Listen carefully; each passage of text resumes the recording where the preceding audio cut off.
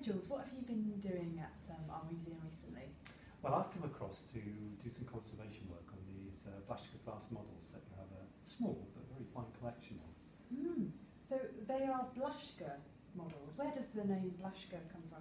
Well, Blaschka comes from, it's a, they were a father and son team and they come from Germany and they were decorative glass makers.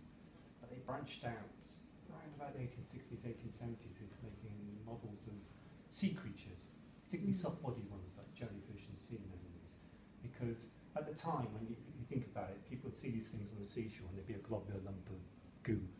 And what they were trying to do is capture the shapes and colours and textures of these soft-bodied marine animals in living life. Mm. So they were taxonomically correct and inspired by sort of great works of taxonomic works of the day. Mm. And they're so intricate. I mean, if you want to come closer and have a little, little look. Um, it must be very um, challenging working on models like this that are so um, fine Okay. and delicate.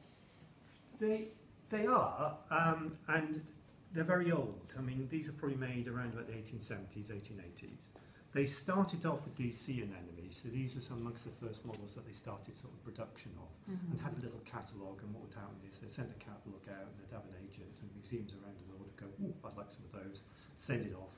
They'd make it, and it'd be packed up on horse and cart and steamer to wherever it went. Mm. So we're looking at models, glass models made around 1870, 1880, so a good 140 years old now, 30 Mm. years old.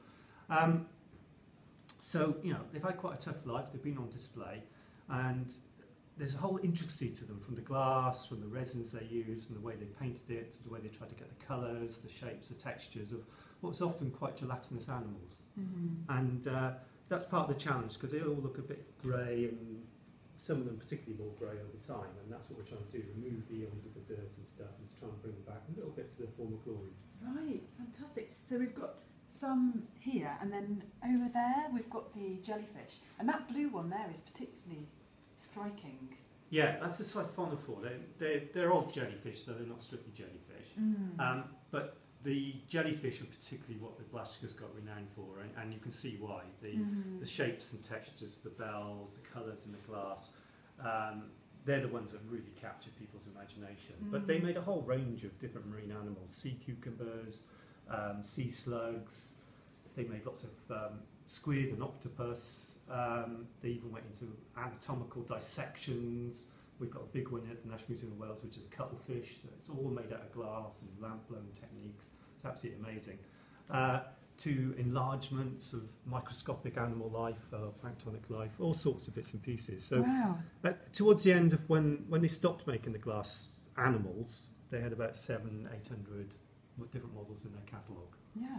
And has your work um, in Blaschka models taken you to other parts of the world as well as Guernsey?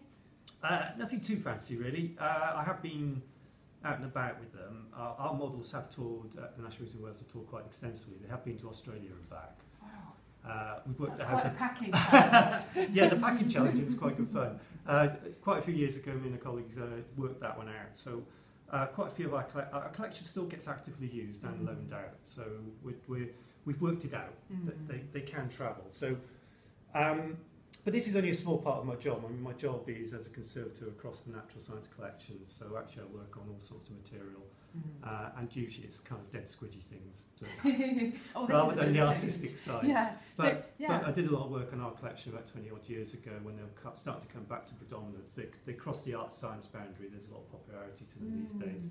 And you see a lot of museums have have certainly sort of like looked into their collections and thought, oh, we've got some of these, we can do Mm. something with them. Precisely what's happening here, which I think is absolutely great. because Yeah. They're, they're coming back out of the cupboard. And Yeah, definitely, and they'll be going on display, and um, they'll they'll they'll look extraordinary. Um, how does this, like you say, small collection compare? What do you think? What do you think of the Guernsey collection of the Blaschka? Oh, it's a, it's a fantastic little collection. We've only got about 20 odd models, but there's a lovely little selection of models. Um, I don't think some of them, I'm not sure how any, if any of them have been used extensively, particularly these ones here. They're actually, they're still on their packing card. Oh yes, Um, this is how they would have been shipped across. yeah. Uh, this one's particularly fine. It shows the intricacies they went to as they got deeper and deeper into the taxonomy of these animals. So this is a little spiral. This is a sort of shell polychaete.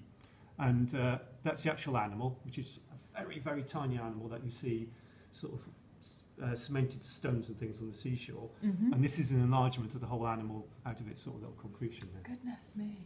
And the So time, it's greatly yeah, enlarged. yeah, Yeah. it's really extraordinary. They're just wonderful things to look at. And um, thanks for coming over and uh, lovely to meet you. Yeah, great.